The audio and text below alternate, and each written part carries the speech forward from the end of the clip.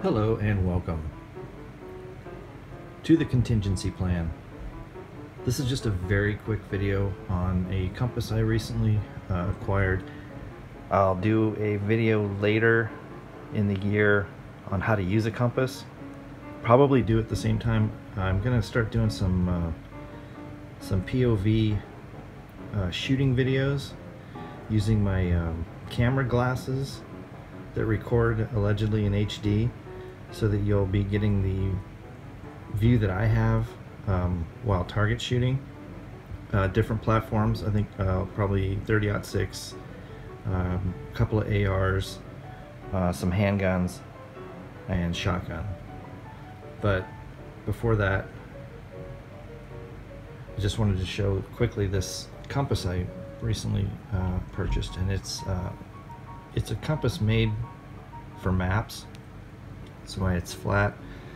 Um, it has a several features. It has measurements.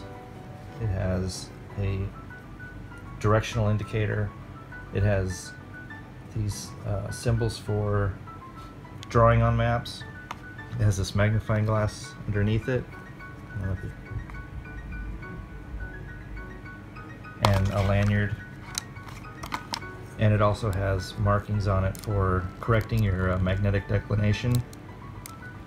But I'll get more into this later. Like I said, when the weather gets nicer um, and I do the POV shooting videos, we'll take this out and do some uh, some compass usage videos.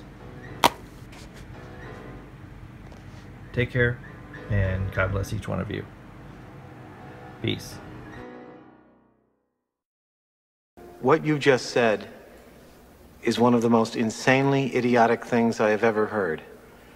At no point in your rambling, incoherent response were you even close to anything that could be considered a rational thought.